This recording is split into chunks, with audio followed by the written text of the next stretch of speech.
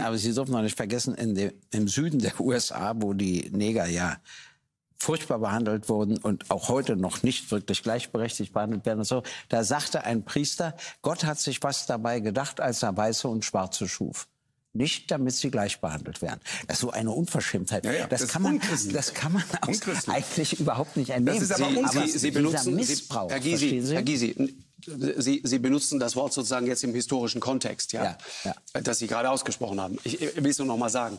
Äh, interessant ist... Ja, das Christentum gibt es ja schon lange. Nee, ich weiß. Der die kümmern muss sie nicht katholisch. Das war, war nur gerade ein interessanter Moment. Sie haben gerade das, das sogenannte N-Wort benutzt. Hm? Äh, und ich unterstelle ich Ihnen. Nur von Schwarzen gesprochen. Nee, nee, haben Sie nicht. Äh, ist, ist, aber es ist ein interessanter Punkt. Er weil, hat was das jetzt, gesagt. genau. Deswegen ja. habe ich das gerade noch mal richtig gestellt. Und es ist interessant, was jetzt passieren würde, wenn wir das jetzt nicht klarziehen. Was würde dann jetzt passieren? Es ist klar, dass äh, man dieses Wort nicht mehr sagen darf.